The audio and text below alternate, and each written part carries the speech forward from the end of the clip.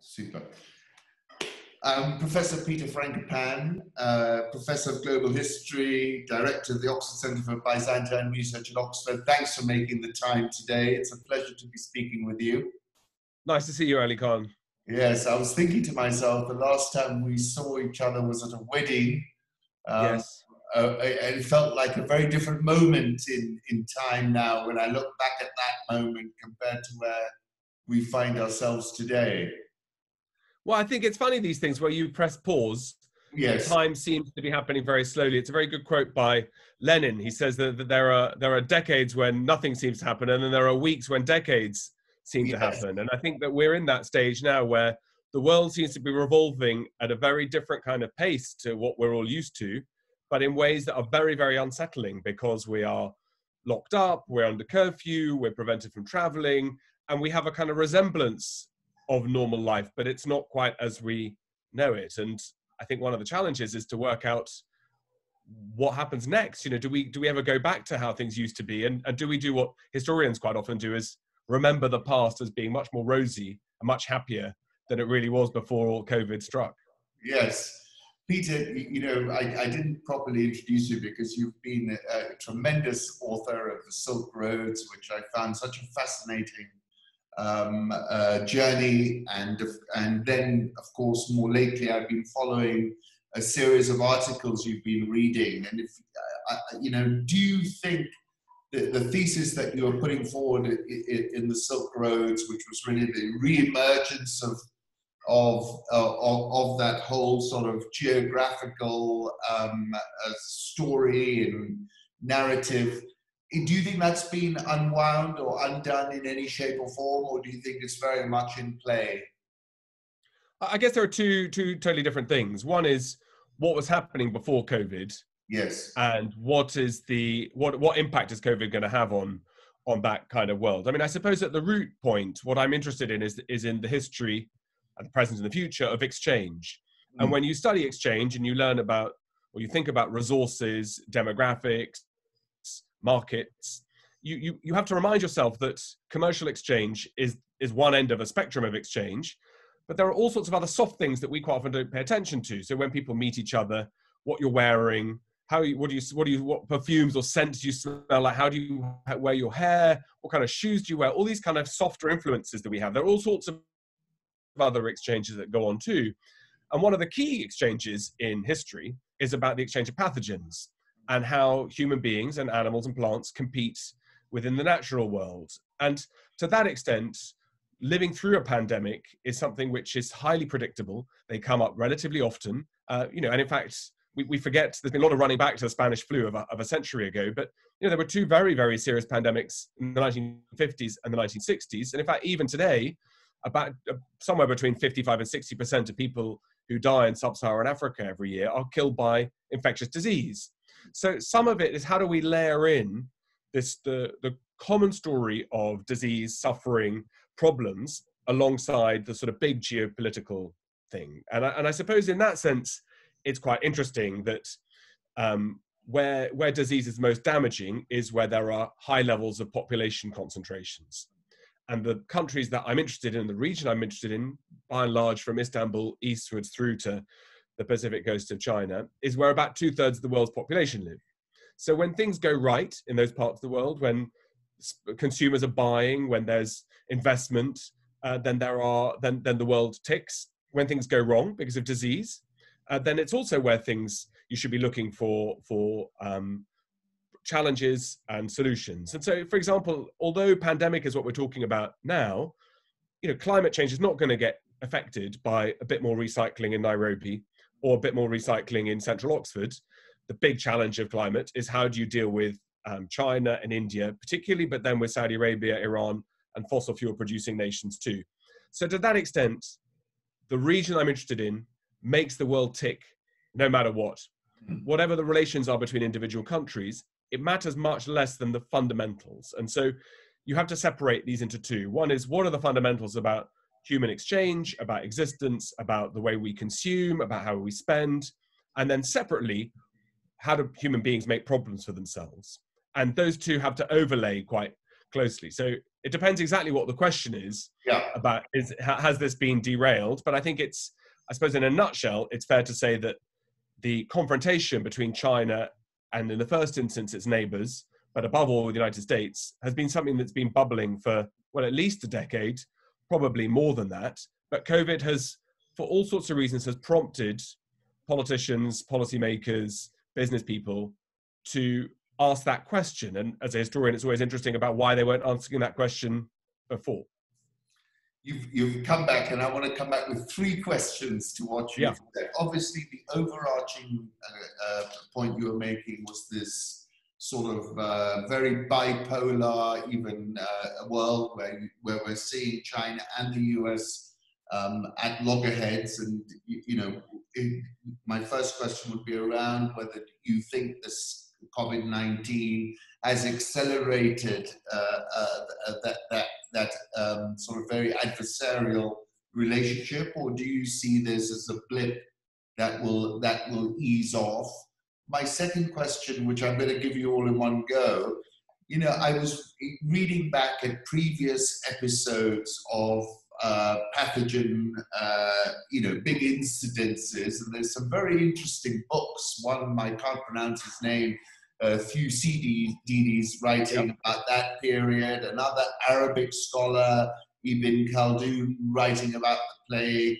And interestingly, it seemed as if they were very prescient in talking about the situation and in, in, in, in both cases saying, you know, this is meant to be a, a tone for you to think about because this is going to come back and attack society and the same mistakes will happen. Leaders will, will, will- not be on top of the situation. So, so firstly, China, US.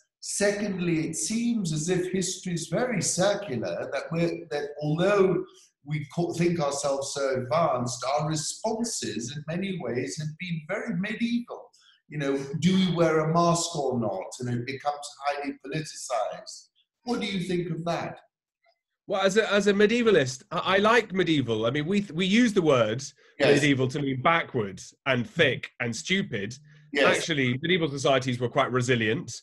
Uh, they understood that disease was something that w- had to be dealt with on a regular basis, and and breakouts of infectious diseases, above all, were things that could could and, and often did destroy communities and cities. And so, I think that that, that, that I'll, I'll do them in, in the order you asked them.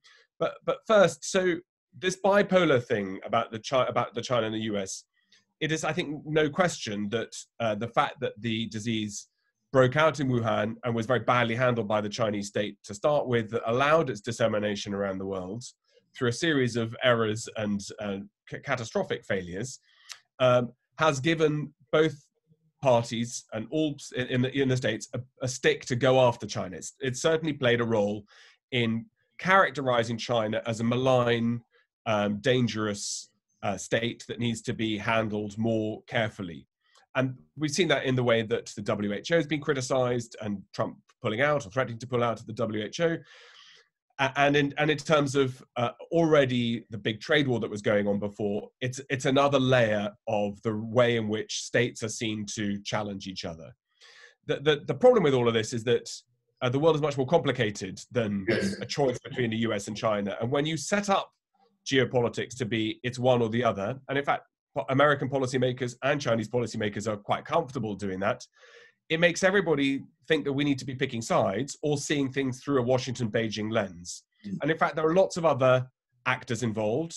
Most of these questions are quite complicated. For example, in Kenya, where you've got the railway payments that are just being due and the rescheduling of what those debts might look like that's you know right. there are all sorts of ways in which one could cook that up to look much more scary than it really is but also one can underplay its significance. So the challenge is to say is this part of a wider plan? And to what extent does it really make a difference from a with kenyan eyes to be looking at beijing versus washington? From a kenyan point of view you want the optimal investment and the optimal investors and the optimal infrastructure at the lowest possible prices Correct. and to, that extent, it doesn't matter whether it's China or South Korea or Japan or the EU or the United States. You want as many people around the table as possible. So the bipolar problem of people talking about uh, a new Cold War and so on is it ignores the majority of the world's population who are not American or Chinese. So that oversimplification has its own dangers. But for sure, China is going to be one of the dominant, possibly the dominant theme of the presidential election, where we've already seen Trump and Biden try to outdo each other on who is tougher and harder on China. And equally, with China being highly aggressive in the South China Sea, the new security law in Hong Kong, uh, pressures in Xinjiang with, with concentration camps and so on, China is taking a much more robust view with, with, with other states. And, and that has its consequences as well, which will be highly um, significant in terms of other people's perceptions of China and also within China itself. The multiple voices that shape China's present and future are also being led down a, a particular route right now. So I think that that bipolarity thing is. Have you been taken aback by the Chinese response? Not just, you know, uh, uh, let's avoid the US, but look, they're parked in the north of India, giving Modi a very hard time, not backing down off there, much more aggressive in the South China Sea, like you said. Hong Kong, basically, it became to look to me as if it was a put up or shut up moment, and the world shut up, as far as I can see. Has that taken uh, taken you aback, or was this? Uh... I think my, I think my, my, job isn't to be surprised. My, my job is to try to understand. Yes. And to try to work out what's so, going on. how do you? And, and the challenge is: this, is this are these separate issues that all look like they're part of the same behavior, or are they? Uh, do they need to be disaggregated? And if they are either one or the other, how are those decisions being made, and what are the consequences going to be? But I'd have thought that that the standard view would be that China has uh, had all sorts of incentives over the last 20 or 30 years to behave in a, in a different way. And those incentives seem to be disappearing. And that is a key part of its behavioral change. Right. Yes. And that's partly led, a lot of China watchers will say that's to do with actually it's led by what's happening in Beijing by President Xi and the administration around him. Uh, uh there's a significant role which I think also fits into if you are a Chinese policymaker and you see the discussions going on about um, uh, other states intervening in your internal affairs, uh, being threatened with trade wars, being shut out of 5G contracts, what have you got to lose by being aggressive? And so the challenge is not to try and say, um, this is taking me by surprise or not. It's to try to a- understand what, what is happening and above all, what, what's happening next. And the problem was, as you know much better than me, with our global supply chains, uh, with China deeply embedded in global economies, uh, we've got to we've got to think through what the consequences are, whether we decouple, which a lot of policymakers talk about, but what that actually means, not just for business, which is a key part of it. What does that actually mean for people, in my view, particularly in the bottom half of the earning capacity globally? Because those are the great beneficiaries of the last 30 years, effectively, of, of peace. You know, if we exclude Iraq, Syria, Afghanistan, a few you know problems in Sudan and, and, and West Africa, by and large, these last 30 years have been very good for the global poor, particularly in the global south.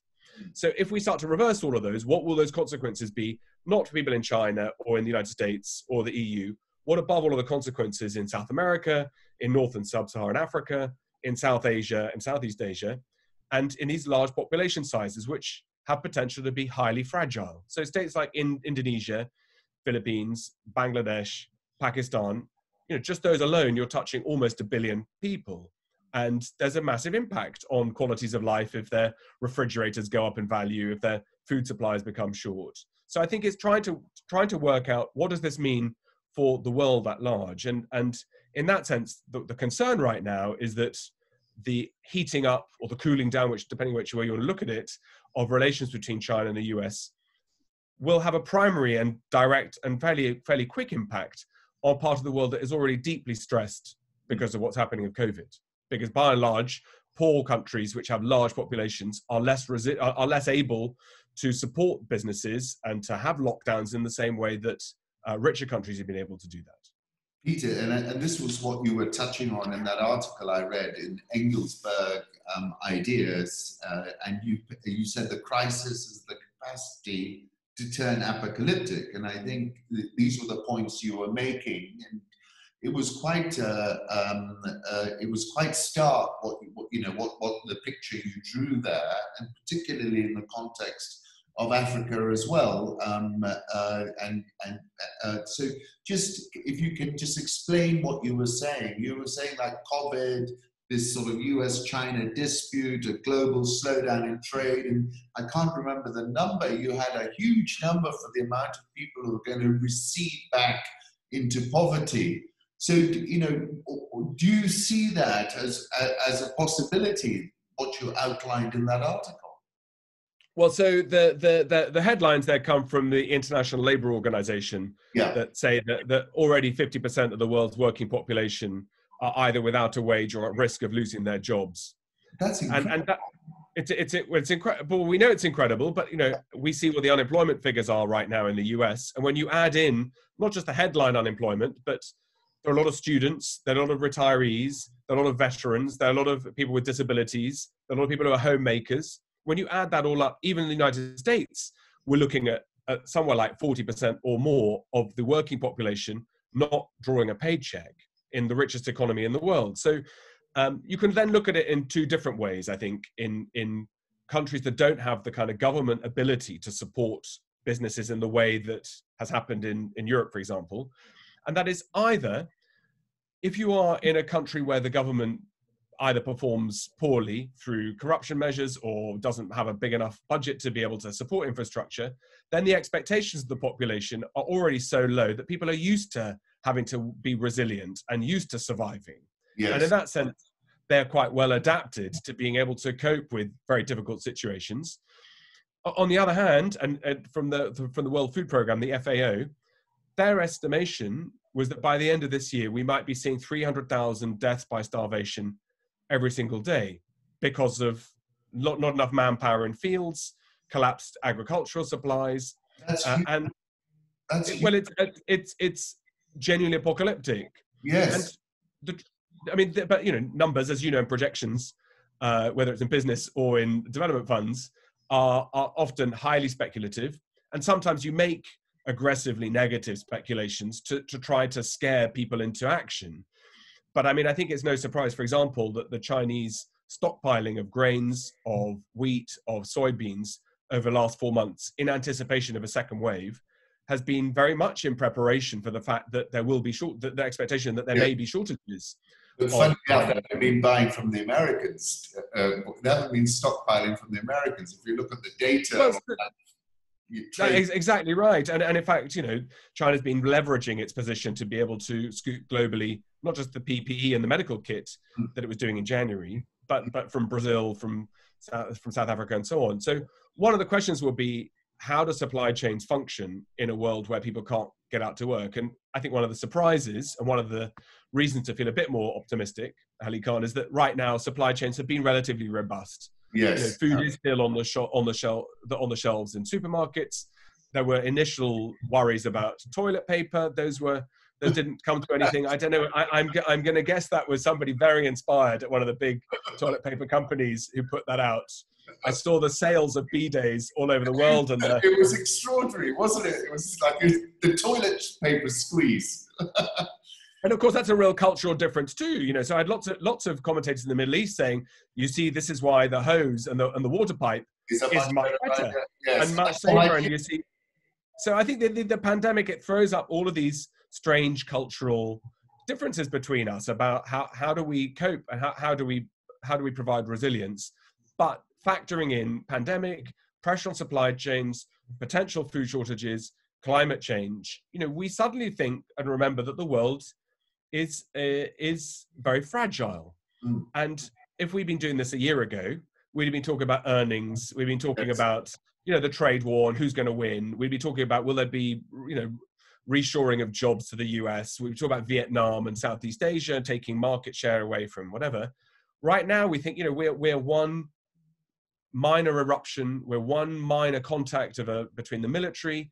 Uh, you know, this morning Turkey's tested out its new cruise missile. That's that. all work so you know we one thing can go wrong and suddenly we're on the, the ice cracks and right now globally whichever state you're in. It's as thin as it could possibly be. You know yeah. today here in the uk we're opening up opening up pubs. We're still not allowed to play cricket. Are you, going are you going oh, to it's only open I, am talking to you instead my local pub. Oh, thank you. I, I will go i will go in. But you know i think we suddenly think that this world that, that you and I have lived in, all and our viewers for the last 20 or 30 years, where there have been disagreements, there have been challenges, there have been different opinions, lots of lots of, of very important discussions about Belt and Road, about US and its engagement in other parts of the world, not not least Africa, but also in the Middle East and so on. Russia and its involvement uh, in in the Caucasus, in the Middle East, likewise in Crimea and Ukraine. And you know, but we felt we we we could afford to not really pay them an enormous amount of attention. Yes. Suddenly, right now, we realize that one of the problems about being globalized is that we're all we're all doomed together if it all goes wrong. And so one of the challenges is how do you make sensible decisions around defense, around digital, around climate, around governance, around financial systems where Western societies are printing money in a way that would never be allowed to happen in the developing world. They couldn't do it. It would collapse. Right, and, and, and in due course, those kinds of inequalities become um, political tools too. You know, and China's been quite astute, I think, at reminding states that uh, the bailouts for big banks in the US in 2008, this was a Western Anglo-Saxon problem that went through London, New York, by and large Middle East, Islamic finance wasn't so badly affected, etc., etc. And to that extent, you couldn't wish for a better president right now in the White House mm. from a Chinese perspective than, than Trump. Yeah. Even though, as it happens, Trump is not wrong, in my opinion, to be trying to reset some of those trade relationships with China. These issues around uh, around intellectual protection, around balancing of trade, around access to each other's markets seem to me not only sensible, they seem to be entirely logical. But because he does them in the way that he does, and because we're so used to playing the man yes. and not the ball, yes. we are so we are so attracted, we're so drawn to the sort of car crash of his every single press conference he gives that we don't look at the substance. So we're part of this problem too. We've got to be thinking always about the substance rather than the style and about what is it what is the world going to look like that we live in? And those chinese values as you know in, in kenya they're not for free. You know there are choices that one makes about surveillance about access to digital about trading relationships about access that are difficult ones. Mm. and you know one has to think them through carefully but i think it, it's probably the time uh, is coming that that states try to work together rather than try and solve these big questions on their own. And, and, lack of governance has been the big theme of 2020. Lack of international leadership and lack of interna- international governance around COVID has been the biggest challenge. So, in a funny way, where I feel less apocalyptic is that you know climate requires global coordinated action. Uh, financial regulation requires global coordinated action. So we don't just have leaders who park their cash in Switzerland or the Cayman Islands with no consequences pandemics require that too and, and we'll see that again in our in our lifetime if not our children's and so it could be that that that that's one of the one of the silver linings that comes out of this is a better way of states finding a way to work together but as you can see in Europe, we're not very good at that. Otherwise, Brexit wouldn't have happened. And even trying to work out which countries we can visit from the UK shows that it's you know we're we're much better at getting things wrong than getting things right what explains the success of countries like Vietnam, for example, Taiwan, New Zealand at dealing with this uh, pandemic, and then the failures of some other countries, the United States, for example, where we're hitting record highs in Brazil. Uh, it, is there a theme that you see that uh, that that that tells you where people are going to be successful or where people are going to fail in dealing with this? Uh, I guess there are three three explanations, and and one has to work out which weight one puts to all of them. First, the countries that have been most successful, by and large, have been geographically peripheral. Is that right? right? So okay. Well, so they, they tend to be coastal. They tend to be, you know, the Baltics, the, the Greece, places that are significant and plugged in, but they're not primary. Whereas, of course, the, the bigger the city, the bigger the connections, the bigger the air routes, the more networked you are in. That's number one. Uh, number two, I think in, in the case of, of, uh, of East Asia and Southeast Asia, there is an understanding that um, pandemic is, is an ongoing problem and that there's been an early warning system since, since long before the SARS outbreak in 2002 and 2003. So an awareness of how to live and how to react when it happens, whereas we were incredibly slow and the United States still um, not just slow, I mean, looks negligent in the fact that it's not taking this stuff seriously. So I think that's been part of it too. The third one, I suppose, is that you a big sweeping statement. Rich countries think that they're immune. You know, they think that they can get away with it. They think that they think that their health systems will save them, and they think that that you know you can take take a chance because when you've always got food on your table, when you can go on holidays, when you can travel from New York to LA, when all the films that you see are hoisting the American flag, or in Britain we have the imperial disease too, where we, we think we deserve a bigger role in global affairs. Uh, you know, I think that you can you can fall back very comfortably on your history of who you think the state, what the state is, and what the past is, and that, that you triumph. And if you triumphed over the Germans in the Second World War, you'll probably triumph over COVID, and that can give you complacency.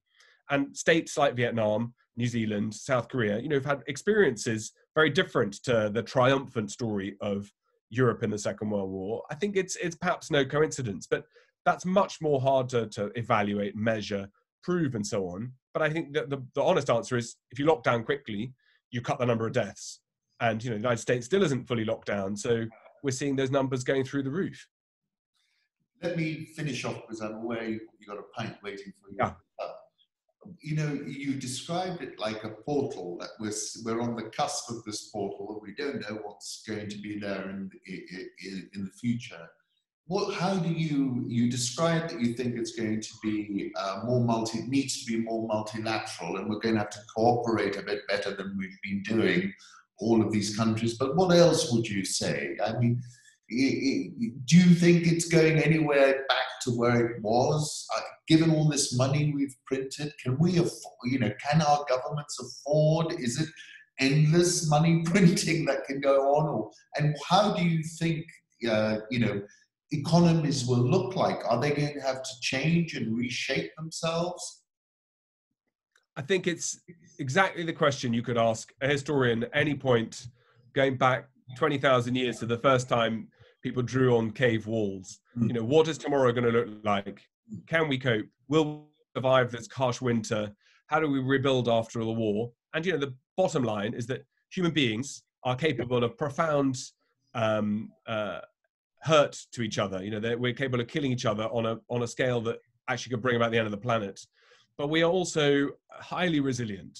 You know, we're able to rebuild and regroup. You know, we are able to put our differences behind us, and we're able to write symphonies and create works of art and find ways to help the poor and to provide education and to, to look for social mobility. So I wouldn't underestimate our capacity to reinvent the wheel because that's what that's the reason why we're here today in the world after all all of our communal ancestors have found ways to survive against nature as well as against each other and against problems about inflation and, and um, you know i remember that the first the first time i, I ever saw a banker Yes. Um, who was a friend of mine. He told me that he nearly got fired because the market had gone down and he had an angry client. And he'd said to his client, who was incredibly wealthy, he said, Well, it's only money. Yes. And the guy exploded and said, It's not only, but you know, the truth is, your, you know, our standards of living may, may drop, but they will then hopefully come back up again. You know, this is better to be dealing with uh, how do we restart and re-kick economies into, into action than dealing with what happened in Rwanda, for example, or former Yugoslavia, or in the Middle East, you know, where there's been warfare and people murdered and communities have turned on each other. I think in this case, how do we stop ourselves going off a cliff? How do we get food security for particularly the, the, the poor and particularly in the global south, in my view? If we can get through all of that, then, you know, if, if some of the goods cost more or cost less, you know, I don't think that's the worst problem to be dealing with historically. The stuff that scares me is about mutation of disease Yes. Uh, this COVID has been economically very damaging, but from a mortality rate, thankfully, because we've got amazing doctors and hospitals, it hasn't been too bad. And I can promise you that yeah. normally pandemics kill on a much, much higher level. Yes. And it's very likely that, the, that this is a dress rehearsal for something much more serious. So I've written something also about biosecurity yes. and about how, how laboratories have leaked. In the UK, uh, uh on average, every three weeks there's a it's failure of security. Scary, when you look at it that way. Yeah, and, and you know that that uh, all of our, our, armed forces around the world are trying to work out how to have biological programs to help them resist what comes towards them. But there's strong incentives right now to be digitally sub- subversive, uh, subversive to do to be able to attack people where you don't have to roll your tanks up to their border, but you can undermine their energy grid remotely where you can where you can use these networks and connections we have in malign ways. Mm. Um, you know, there are there are real concerns I think around the biological program. So at the end of last year in the Vostok facility in Russia, it's one of only two places in the world. That, that stalls the smallpox Mm. um, pathogen, there was an explosion in one of the rooms that set part of the building on fire. Yeah. And you know, an escape like that um, sets us back into something much, much worse potentially than, than COVID. So I think we should be grateful for every day that passes that we wake up where you know the, the world is still uh, arguing on Twitter rather than anything more serious than that. So you know, I think that we'll we'll, we'll be okay, but we may have a, a period of uh, of long term degraded living conditions. But as the, the thing to worry before the end of this year is that that starvation figure of three hundred thousand per day That's that the. FAO are warning about. When you put that in the context of 5,000 max a day dying from COVID, 300,000, that's uh, horrendous. Peter, it's been a pleasure speaking with you, and thank you for giving us uh, your perspective, and thank you for making the time as well. Always a joy. Stay safe. You too, and give my love to the family. Will do. Thanks. Take care. Thank you. Good. Thanks a lot. Is that okay? Perfect. Good stuff. Thank you. See you soon. I'm going to run to the pub. Okay, enjoy it. And, and let me know if I can ever help Aly Khan. I, I want to do an event with you one day in conversation Yeah, to hear I- your, to hear I- your views. I, I, I want to do it with. I, I, this was a practice run. There we go. Take Right. care. See you soon. Bye. Bye.